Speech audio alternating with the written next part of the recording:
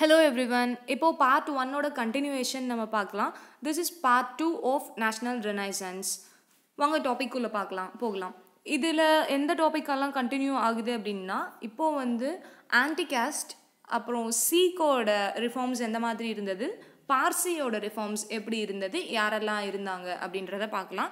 வாங்க anti காஸ்ட்குள்ளே first வந்து ஜோதிபா ஃபுலே ஜோதிபா ஃபுலே வந்து எதுக்காக அதிகமாக போராட்டம் பண்ணாங்க அப்படின்னா பிராமின்ஸோட டாமினேஷன் அதிகமாகவும் லோ கம்யூனிட்டியில் இருக்கிறவங்களுக்கான ரைட்ஸ் வந்து சரியாக கிடைக்காம இருந்ததையும் அவங்க சப்ரஸ் பண்ணப்பட்டாங்க அப்படின்னு சொல்லிட்டு அவங்க நம்பினாங்க. ஸோ அதுக்காக அவங்க போராட்டம் பண்ணாங்க. இவங்க வந்து சைல்டு மேரேஜை அப்போஸ் பண்ணியிருக்காங்க விடோ ரீமேரேஜை சப்போர்ட் பண்ணியிருந்திருக்காங்க இவங்க விடோஸ்க்காகவும் சில்ட்ரன்ஸ்க்காகவும் விமன்ஸ்க்காகவும் ஹோம்ஸ் அண்ட் ஆர்ஃபனேஜஸ் ரன் பண்ணியிருந்திருக்காங்க. இவங்க ஸ்டார்ட் பண்ண சமாஜ் பேர் என்ன அப்படின்னு சொல்லிட்டு பார்த்தோம்னா சத்ய சதோக் சமாஜ் அப்படின்றத ஸ்டார்ட் பண்ணியிருக்காங்க இது எதுக்காக ஆரம்பிக்கப்பட்ட சமாஜ் அப்படின்னா பிராமன்ஸ் வந்து லோகாஸ் கம்யூனிட்டியை வந்து சப்ரஸ் பண்ணுறாங்க அது இருக்கக்கூடாது அப்படின்றதுக்காக ஆரம்பிக்கப்பட்ட சமாஜ் தான் வந்து சத்யசோதக் சமாஜ். இவங்க வந்து எழுதின புக்கு பேர் என்ன அப்படின்னா குலாம்கிரி குலாம் அப்படின்னா ஹிந்தியில் ஸ்லேவ் அடிமை அப்படின்னு சொல்லிட்டு அர்த்தம். அதை பற்றின புக்கு வந்து இவங்க எழுதியிருக்காங்க. ஸோ நெக்ஸ்ட்டு ஸ்ரீ நாராயணகுரு ஸ்ரீ நாராயணகுரு யார் அப்படின்னா இவர் கேரளாவை சேர்ந்தவர். இவர் வந்து நைன்டீன் நாட் த்ரீல வந்து நாராயணகுரு தர்ம பரிபாலன யோகம் அப்படின்னு சொல்லிட்டு ஒரு சோஷியல் சர்வீஸ் ஆர்கனைசேஷன் இவர் ஸ்டார்ட் பண்ணார்.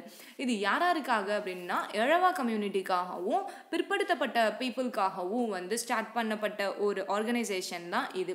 இது எதுக்காக அவர் ஸ்டார்ட் பண்ணார் அப்படின்னா நலிந்தோர்கள்லாம் வந்து சப்ரஸ் பண்ணுறாங்க டாமினேட்டர்ஸ் எல்லாரும். அப்படி இருக்கக்கூடாது. அவங்களுக்கெல்லாம் ஹெல்ப் பண்ணுறதுக்காக ஸ்டார்ட் பண்ண ஆர்கனைசேஷன் தான் இது. இவர் வந்து அப்புறம் அது மட்டும் இல்லாமல் ஒரு பெரிய கிராண்ட் டெம்பிள் ஒன்று வந்து கேரளாவில் கட்டியிருக்காரு. அந்த டெம்பிளை வந்து முன்ன இருந்த காலத்தில் அவர் வாழ்ந்த காலத்தில் வந்து கீழ்ஜாதி மக்கள்லாம் வந்து கோயிலுக்குள்ளே போகிறதுக்கு அலோவ் பண்ணலை. அப்படியெல்லாம் இருக்கக்கூடாது. எல்லாத்துக்கும் வந்து கோயில்ன்றது சம உரிமையான இடம். அது எல்லாத்துக்கும் காமனான ஒரு விஷயம் அப்படின்னு சொல்லிட்டு அதுக்கு ஸ்ட்ராங்காக அவர் சப்போர்ட் பண்ணியிருந்திருக்காரு. அதுக்காக தான் அந்த கோயிலை அவர் கட்டியிருந்திருக்காரு. ஸோ நெக்ஸ்ட்டு வந்து யாருன்னா அயன்கலி. அயன் கலி வந்து யார் அப்படின்னா தீவிரமாக நாராயண குருவோட குருவால் ஈர்க்கப்பட்டவர். He is inspired by Narayana Guru. இவர் ஸ்டார்ட் பண்ண சங்கம் பேர் என்ன அப்படின்னா சாதுஜனா பரிபாலன சங்கம். இதை எதுக்காக அவர் ஆரம்பிச்சிருக்காரு அப்படின்னா நிறைய ஃபண்ட்ஸ் எல்லாம் கலெக்ட் பண்ணி எஜுகேஷன் கொடுத்துருக்காரு. யார் இருக்குன்னா lower community பீப்புளுக்காக the the caste called Pulaya caste அவங்களுக்காக டீப்பாக இவர் ஹெல்ப் பண்ணியிருந்திருக்காரு. ஸோ இப்போ பார்த்தது வந்து ஆன்டி காஸ்ட்டை பற்றி பார்த்தோம். இப்போ இஸ்லாமிக் ரிஃபார்ம்ஸ் சில பேரை பற்றி பார்க்கலாம். ஸோ சையத் அஹமத் கான் இவர் யார் அப்படின்னா ஹீஸ் அன் இஸ்லாம் முஸ்லிம் இவர் வந்து eh, எதுக்காக அதிகமாக போராட்டம் பண்ணார் அப்படின்னா முஸ்லிம் பீப்புளோட எஜுகேஷனுக்காகவும் அவங்களும் ஃபார்வர்டில் வரணும் அப்படின்றதுக்காகவும் ஸ்ட்ராங்காக இவர் போராட்டம் பண்ணவர். அவர் தான் வந்து சர் சையத் அஹமத் கான் ஸோ இவர் வந்து இங்கிலீஷ் புக்கை வந்து உருதுவில் ட்ரான்ஸ்லேட் பண்ணி எழுதியிருக்காரு. அது வந்து பீப்புளுக்கு ஹெல்ப் பண்ணும். அவங்க படிக்கிறதுக்கு கம்யூனிகேஷன் லேகிங் இருக்காது அப்படின்னு சொல்லிட்டு இவர் அதை செஞ்சுருந்திருக்காரு. இவர் ஆரம்பித்த மொமெண்ட் பேர் தான் அலிகர் மொமெண்ட் அலிகர் மொமெண்ட் எதுக்காக ஆரம்பித்தது அப்படின்னா முஸ்லிம்கான எஜுகேஷன் கிடைக்கணும் அப்படின்றதுக்கு தான்.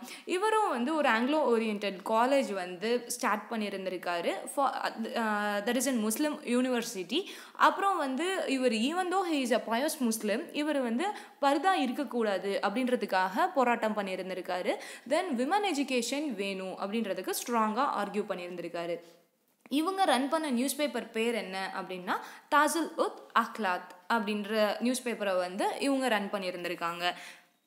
ஓகே நெக்ஸ்ட்டு வந்து தியோபந்த் மூமெண்ட். தியோபந்த் மூமெண்ட்டில் ரெண்டு விஷயம் வந்து அவங்களோட மெயின் அப்ஜெக்டிவ் ஒன்று வந்து குரான் வந்து சொல்லி கொடுக்கறது. இன்னொன்று வந்து அவங்க ஃபாரினாக இருக்கலாம் இல்லாட்டி முஸ்லீம் இல்லாதவங்களுக்கு எகெயின்ஸ்டாக ஜி